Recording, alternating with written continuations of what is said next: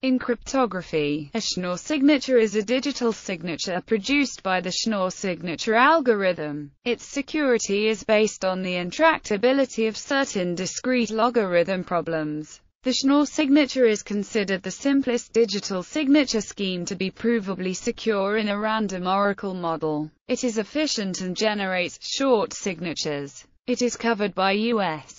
Patent 4,995,082, which expired in February 2008. Algorithm. Choosing parameters All users of the signature scheme agree on a group with generator of prime order in which the discrete log problem is hard. Typically a Schnorr group is used. All users agree on a cryptographic hash function. Notation in the following. Exponentiation stands for repeated application of the group operation. Juxtaposition stands for multiplication on the set of congruence classes or application of the group operation.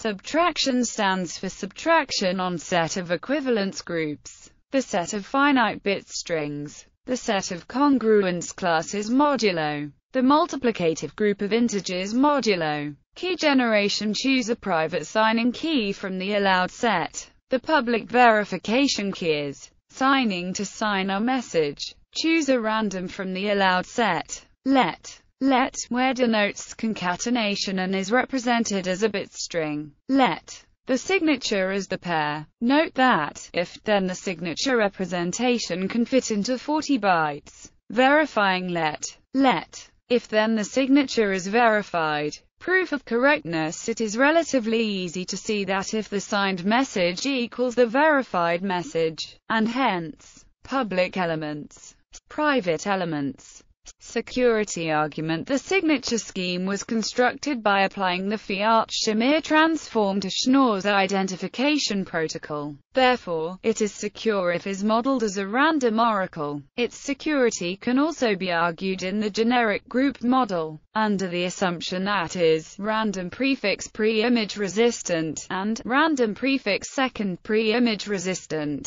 in particular, does not need to be collision resistant. In 2012, Seurin provided an exact proof of the Schnorr signature scheme. In particular, Seurin shows that the security proof using the forking lemma is the best possible result for any signature schemes based on one-way group homomorphisms including Schnorr-type signatures and the Guillou-Quisquater signature schemes. Namely, under the ROMDL assumption, any algebraic reduction must lose a factor in its time-to-success ratio, whereas a function that remains close to 1 as long as is noticeably smaller than 1 whereas the probability of forging an error making at most queries to the random oracle